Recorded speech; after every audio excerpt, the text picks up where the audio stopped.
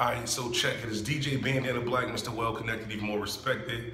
And like I said, this is the first episode of Crazy Stories with DJ Bandana Black, where I'm just reminiscing over the years of different times where my career over this whole DJ game, I, I had some crazy stories. So I'm gonna share them with y'all episode after episode. And this is episode one, AKA the night Mario Johnson almost got me killed.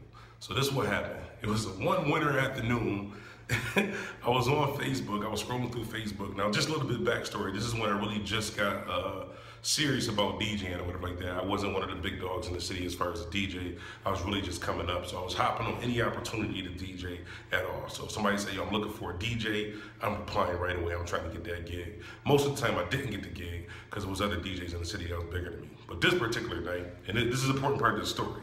This particular night, scrolling through Facebook, so Mario Johnson puts up a stat. I don't remember exactly, but it was something to the tune of, "Yo, um, we looking for a DJ tonight for a, for a birthday party. Is any DJ available?"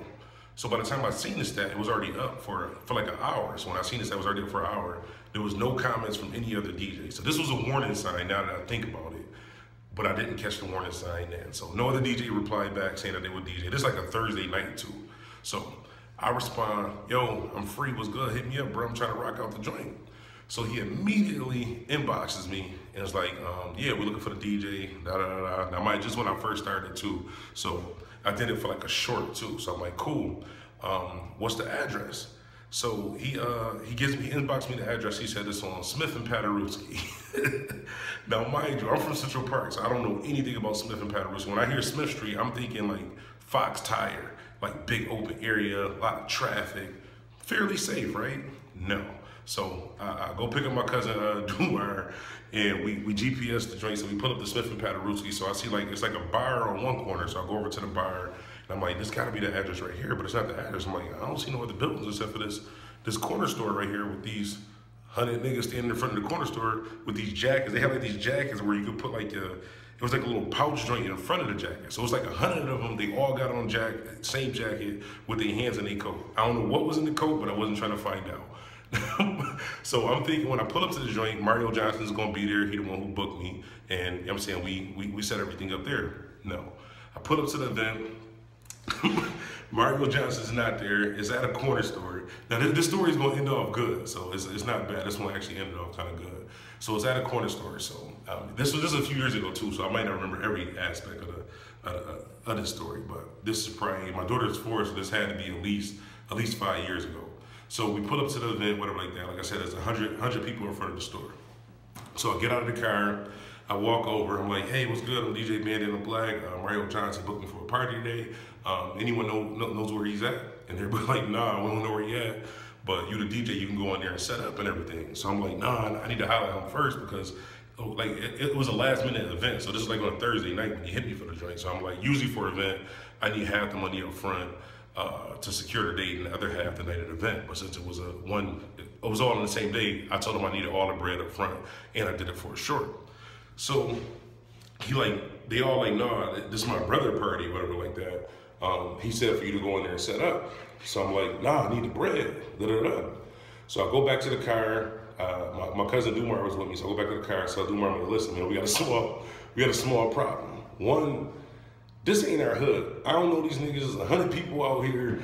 Uh, we got two choices. We can get out of the car. I got a bad feeling about this. I just had a real bad. This is why I had a bad feeling too. Because while we was in the car, while it was the hundred people in front of the corner store, like in my neighborhood, say if we say if we all in front of the Rodney store, right, and the police pull up, everybody leaving the corner.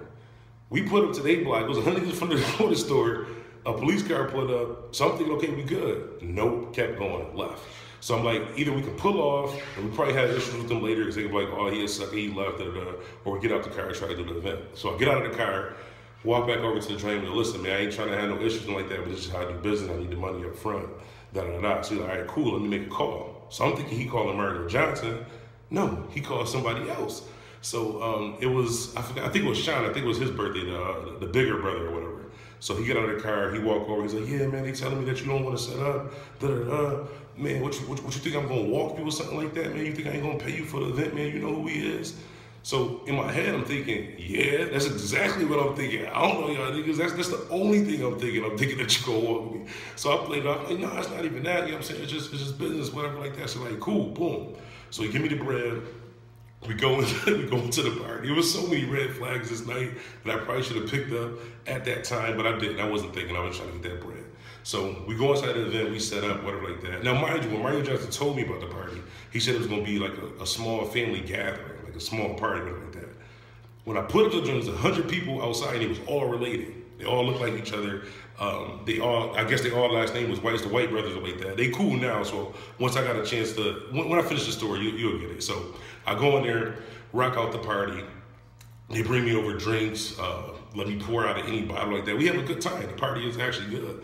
Now, mind you, I'm still inside this party, I'm still kind of nervous. I'm like, yo, this ain't my hood. I don't know these people. We had sort of a small issue outside about the little little payment situation or like that, but that scared away. So I see um, I see, I think it was Woods. I seen Woods walk in. So Woods from my hood like that, but I guess he related to some of them were like that because he came in and they all slapped him up. So I'm like, I'm good because Woods my man. He obviously know them, so we straight. So I'm a little relaxed, you know. Then Gator and them walk in. I, I grew up with Gator and them, so I'm like, right, cool. So once I feel slightly safe, I really started rocking out. So we rock out the whole party, everybody having a good time.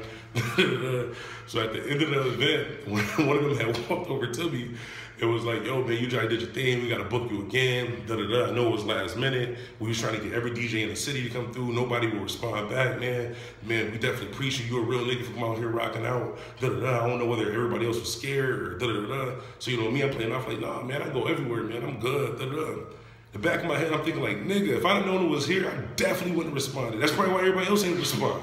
but it wind up being good, so we chopped it up, and ever since then, we always been good. Every time I see them, they show me love, and I'm saying in out of clubs, different stuff like that. But that was that was one one one crazy night for that event. Mario Johnson definitely. I was just joking about him getting me killed. We wasn't in no danger for real, for real. Well, I don't know. We might have been. I'm gonna keep it. We might have been in danger, but it turned out good. So shout out to the White Brothers. Shout out to Mario Johnson. Shout out to the whole downtown, the whole 31, that whole area. Definitely showed me love, and it was actually a good good event. I guess they um, it's like a black owned corner store or something that they have there.